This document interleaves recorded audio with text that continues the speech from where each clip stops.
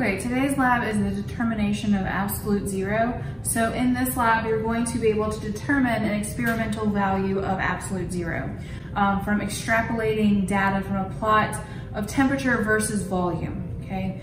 Um, so another part of this lab is to be able to graph. So make sure that you look at the handout and the uh, lab so you can see some directions on how to make a good graph. Um, so here I have all of my things that I need for the setup.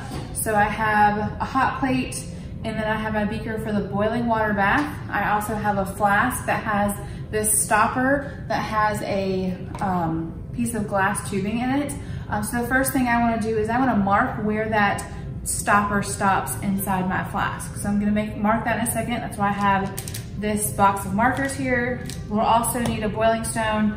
Go ahead and put that into um, the hot water bath. I don't have that on yet, but there's my boiling stone. We also need a couple of graduated cylinders um, to measure some volumes later on. Okay, um, so we're going to turn on this water bath. Okay, so I'm going to heat up this water to boiling. Um, once it is boiling, I'm going to put in the flask into um, the boiling water bath. Um, so what you're doing today is you're going to trap a warm sample of air of a known volume and measure the volume of a sample of that sample of air when it cools. While I'm waiting for this water to heat up, I've already measured to make sure that it's gonna fit into my flask so it's not gonna overflow. But I do wanna mark where that stopper is because that's the volume that we're going to measure in a little bit. So I'm just gonna put a marker where that stopper ends. Remember that the volume of a gas is going to take up the entire volume of the container. Um, so if our container stops here, we wanna mark that so we don't overfill it and our volume be off. Uh, so we're just going to wait for this water to boil. Then we're going to add our flask to the boiling water and wait for six minutes. Once that six minutes is over, we're gonna transfer this flask, all of this whole setup to a water, um, to an ice bath. I don't have that set up yet. Uh, and then we'll go from there. Our water is at a boil now, so I'm gonna go ahead and take a temperature. You may notice that I did add another clamp. Um, that was just so I could put my thermometer in the um, boiling water bath, and then I will, since it's at a rolling boil, rolling boil now, I'll go ahead and read that temperature. Um, so that temperature is going to go into um, your data sheet. Um, that's gonna be data table one, and it's for trial one, the temperature of the boiling water bath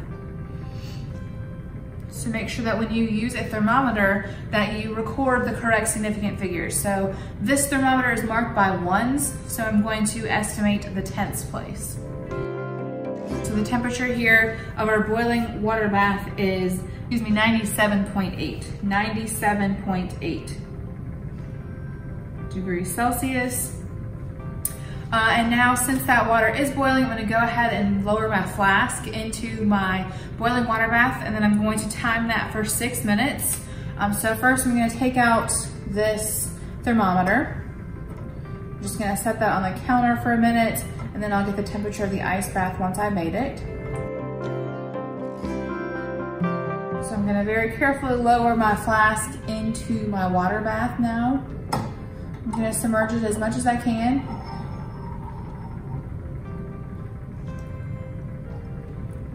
Kind of limited by the, the clamp itself. And then I'm gonna start a timer for six minutes. Hey Siri, start a timer for six minutes. Okay, six minutes and counting.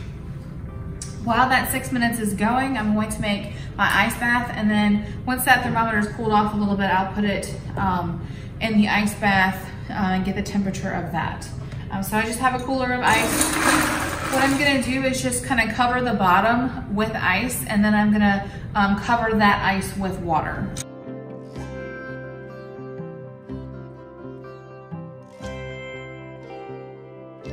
Also, while I'm waiting that six minutes, I can go ahead and uh, record the barometric pressure. So I have a barometer here, um, and I've read that, and the pressure is um, 752.1 millimeters of mercury, 752.1 millimeters of mercury. So I have that barom um, barometric pressure. I have the barometer here that just measures the, uh, the pressure inside the lab.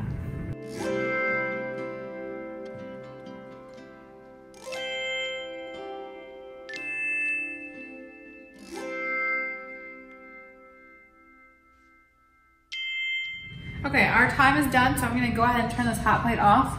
And then I want to transfer my flask um, very carefully to the ice bath.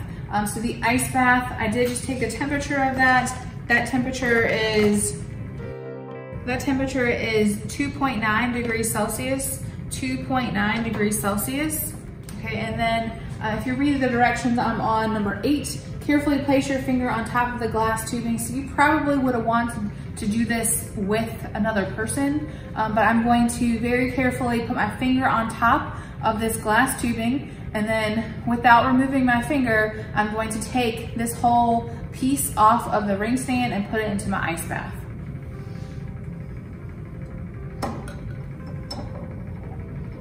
So once I have gotten this loose, I'm gonna cover my, put my finger on that glass tubing. I'm gonna do this very carefully again. It could be hot. Um, that glass, that piece of glass tubing shouldn't be. It's not. So I'm gonna take this to my ice bath and then I want to quickly invert this into the ice bath and then I will remove my finger.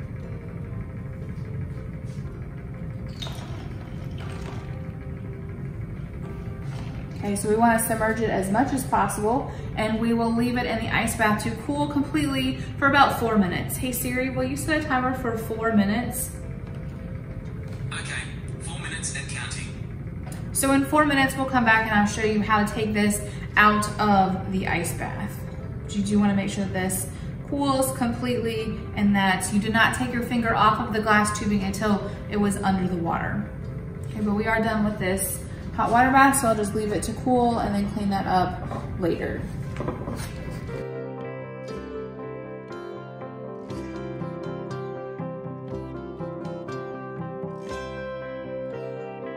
Okay, so the next start, the next part when my timer goes off after our flask is completely cool is to take it out of this ice bath.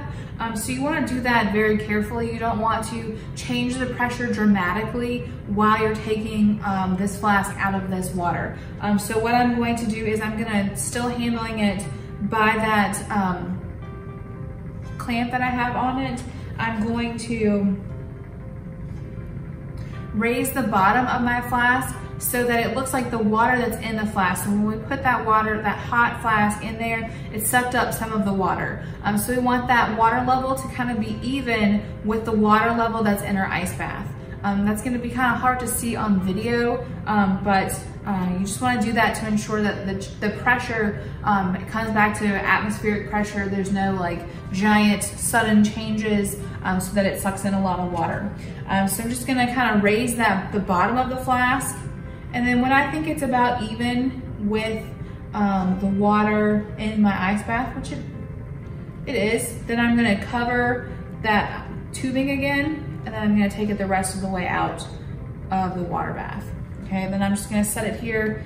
I don't know if it's gonna stand with this clamp on it, so I'm gonna take that off. And then we wanna measure the volume of water that was pulled into the flask. So we're gonna do that with this 100, mil, 100 milliliter graduated cylinder. I'm gonna dry it off just a little bit so I can handle it.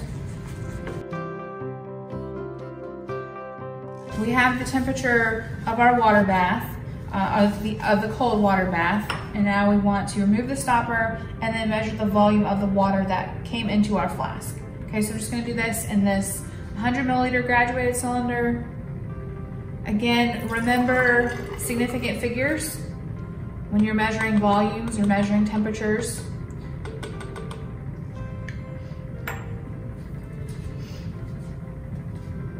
So the volume of water pulled into the flask for trial one is going to be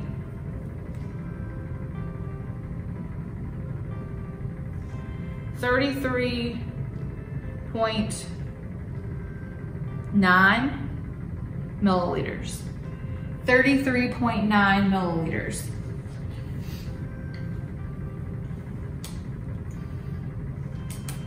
And then we also want to get the volume of that flask. Um, so to get the volume of this flask, you cannot assume that it's 125 milliliters. That's the mark only right here. Remember there's still this space here. And we also wanna take into account where our stopper went into the flask. So I did mark that It seems to be gone. So let me mark it one more time so I know how much water to put into it. Okay, so I marked the top of that bottom of that, um, the bottom of the stopper. So I know to fill the water up to there. And then once I fill it all the way up to that mark, I will pour it into my big graduated cylinder so that I can measure the volume of the flask. Okay, so I hit that mark. Now I'm gonna pour it into my big graduated cylinder to get the volume. And that volume is gonna go on trial one, the volume of the flask. Again, still inside that data table one. So it's gonna be 151.7 milliliters. The volume of the flask for trial one is 151.7 milliliters. And then you need to find the vapor pressure of the water at the temperature of your ice bath. So you'll need to use your book. There is a table on page, ooh, I don't remember. I will look it up in just a second. To get the vapor pressure of water at the temperature of our ice bath. So you wanna find um, the vapor pressure at 2.9 degrees Celsius. Let me grab my book and see what page that table is on. That table, which is called Vapor Pressure of Water at Various Temperatures, is on page 224 of your lab book. Um, so you need to look that up there. Um, for the temperature of your ice bath, find that um, vapor pressure. And then you can do the calculations, um, calculations table one. It does show you exactly what you need to calculate. Uh, and then there will be information provided for trial two. Um, so it's the exact same setup um, as trial one uh, for trial two. So that data will be given to you. Um, from this data, make sure that you pay attention to the data analysis um, because you are going to uh, plot your hot point and your cold point and then extrapolate from that um, your value for absolute zero. Remember that absolute zero is going to correspond with a volume of zero, which is why it's a theoretical number. Um, something that has, that exists, um, has to have some sort of volume. Um, so remember, this is theoretical. Also, when you make your plot, um, you're going to need to have a graph paper that has a very wide range of temperatures. Um, so your temperatures uh, for the points that you actually plot are around 100 and uh, about three uh, for this particular trial. Um, but you also have to extend that all the way to negative two, at, all the way to at least negative 273 degrees Celsius. Um, so make sure that when you do make that graph that you uh, make it wide enough that you can uh, extrapolate your experimental data uh, for the absolute zero. There's also questions for you to answer and then make sure that when you do make your graph that you kind of go by those how to make good graphs. Um, so that will be provided to you as well, the handout or in the PowerPoint. Um, but the last thing of this lab is just to clean up everything. Make sure that any lab that you do, you would clean up. Um, so we're gonna dump all this water in the trash or in the sink. Um, but if we were using different chemicals, we would need to make sure to use the right waste containers. And then just wash your glassware with soap and water. And I'll leave it on the drying rack uh, for later on to be put up.